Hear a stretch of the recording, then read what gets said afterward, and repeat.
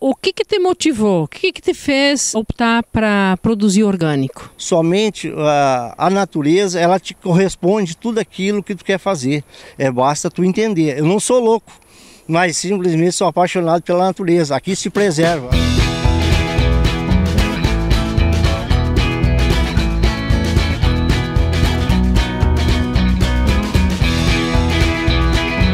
O programa de alternativas de hoje é, apresenta a forma como os camponeses de Tapes, Sentinela do Sul e região se organizam é, para garantir a subsistência e principalmente como se organizam para garantir a matriz tecnológica da agroecologia, da produção orgânica.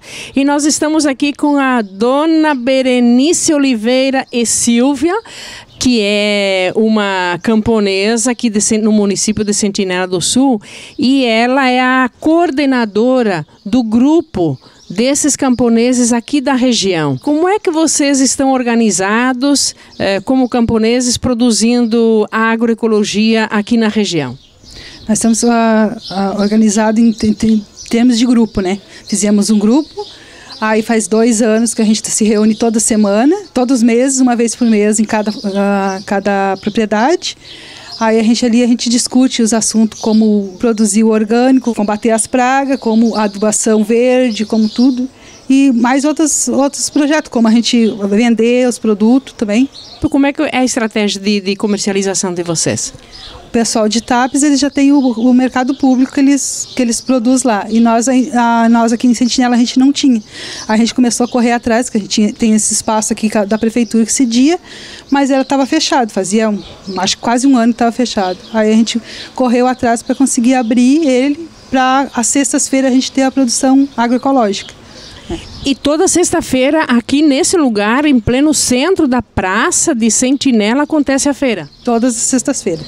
E o que, que vocês trazem aqui de variedades? Que eu vi que tem bastante coisa aqui. Ah, temos de tudo. Couve picada, couve em folha, tomatinho, beterraba, cenoura, capuchinha. Temos pão, temos alface. Cada semana uma traz aquilo que a gente pode produzir, né?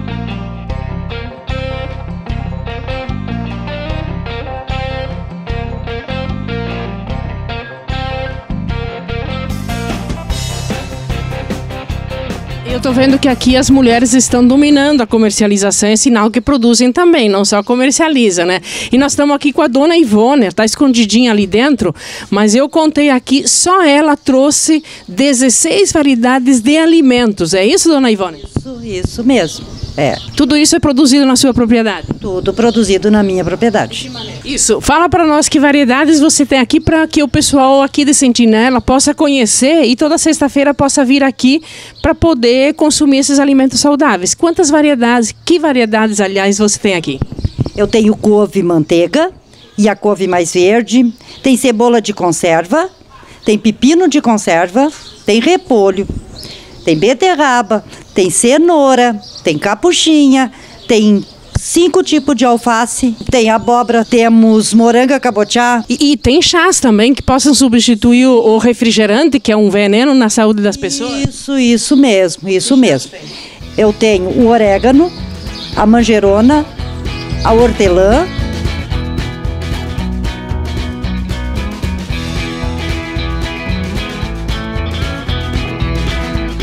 E a Carla, o que, que você trouxe hoje? As verduras, tomatinho, repolho, couve, os pães, bolacha.